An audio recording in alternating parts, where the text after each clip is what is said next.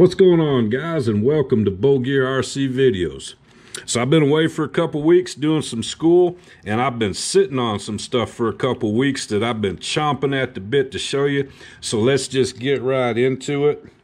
Um, the word of today is there is no tech like Furitek for your small scale uh, rigs. Now, if you're not familiar with what this is, this is the Furitek Lizard ESC. Um, this thing, guys, is an absolute game changer. This this this little guy right here packs some stupid punch. Um, this this changes a lot of things that we were uh, that we used to think about. You know, the RC hobby. this thing is really an amazing little guy. Now, just for the basics of this, this is a 20 amp ESC. It's got a 40 amp peak. It uh, has a 1.5 amp BEC. And to put that into perspective, the Traxxas TRX4 has a 1 amp BEC. So th this little guy, right off the bat, this, this guy packs a lot of punch for a small scale rig but that's not even the beginnings of it. Um, this little plug right here that you can see, there's a, a, uh, little Bluetooth module that plugs into this or dongle, whatever they call it, where you can actually uh, program your ESC right from your phone. There's a free app on the Play Store, um, Apple Store, whatever phone you got. There's an app so that you can, uh, you know, Bluetooth into this thing and get it set up for your rig. Now, what's uh, really neat about this thing is that it doesn't matter if you if you want to run a brush motor, if you're going to run your stock motor in your SCX24, for example, this thing is going to control it a lot smoother, a lot better than the stock ESC that's in your uh, SCX24 if you want to step up your game, maybe uh, go on Shapeways, get yourself a Gammy motor plate and put like this little 130 brush motor in there. Well, you can do that too. This guy's going to take care of that. It's going to run it nice and smooth for you. But uh, that's not all. If you want to run brushless, well, you can do that too. If you want to run something like this uh, little Surpass uh, Outrunner motor, this thing's going to take care of that. And if you go brushless, that's where the PFM comes in. Now, if you're not familiar with the term PFM, it's a technical term. It means pure freaking magic because that's what this thing is going to do for you. It's just pure magic. yeah. So this thing, uh, th this is a field-oriented control motor controller.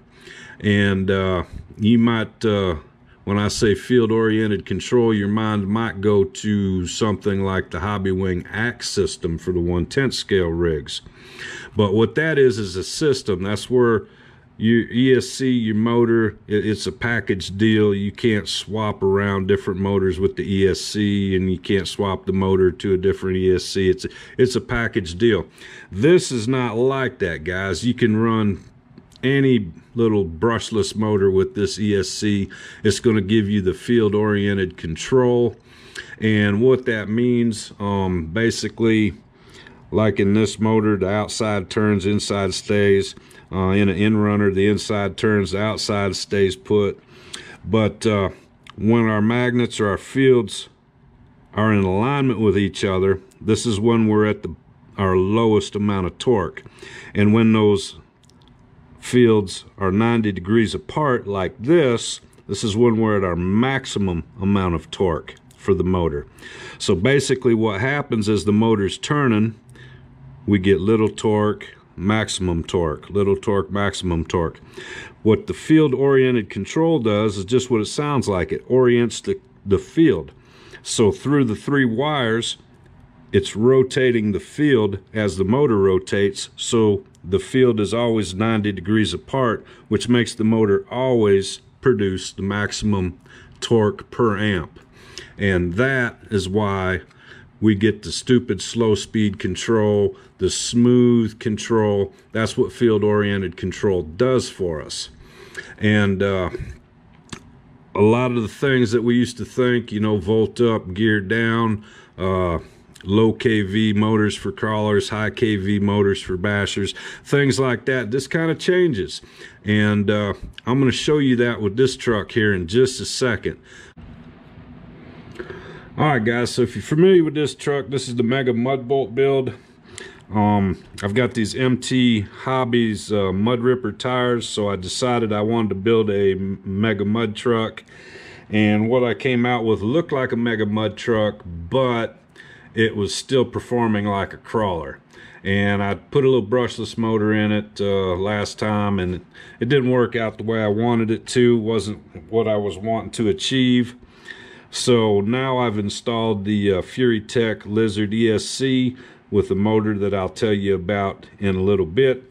But um, I want to show you the low speed control. And bear in mind that uh, I did go with the uh, Hobby Racing spur gear in here.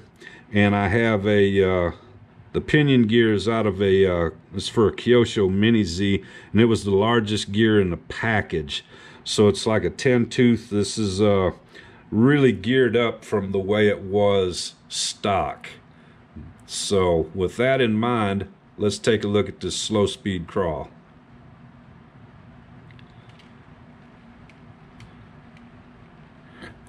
So here we are, we're geared up and we're still crawling much better than we were stock. Look at that.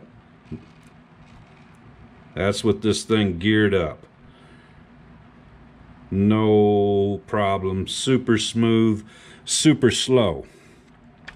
But the thing is, guys, this is one of the things that uh, I was telling you that our conventional way of thinking about things has changed with this ESC because this motor that's in here should not be doing what you just seen it do. It should be doing this.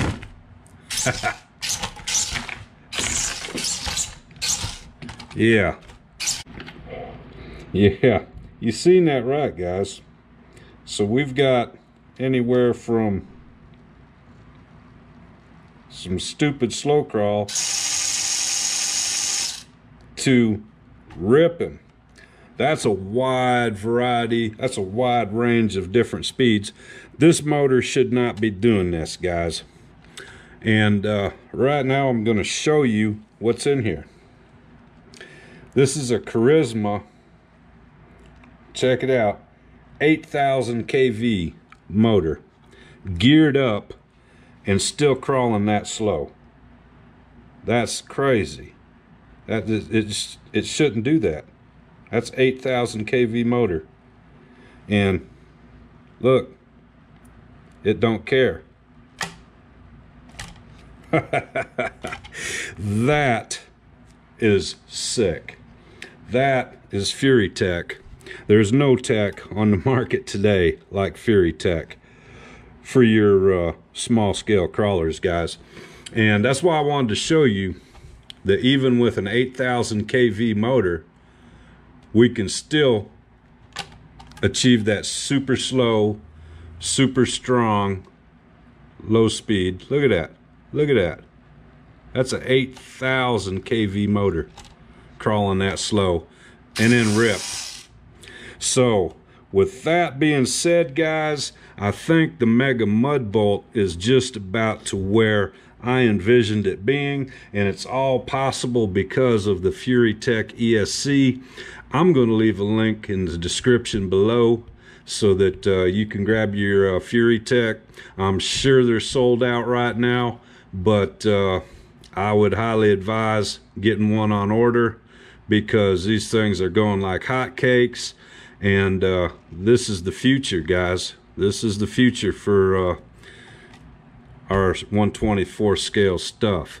So until next time oh uncle lee Bullgear rc video saying i'll see ya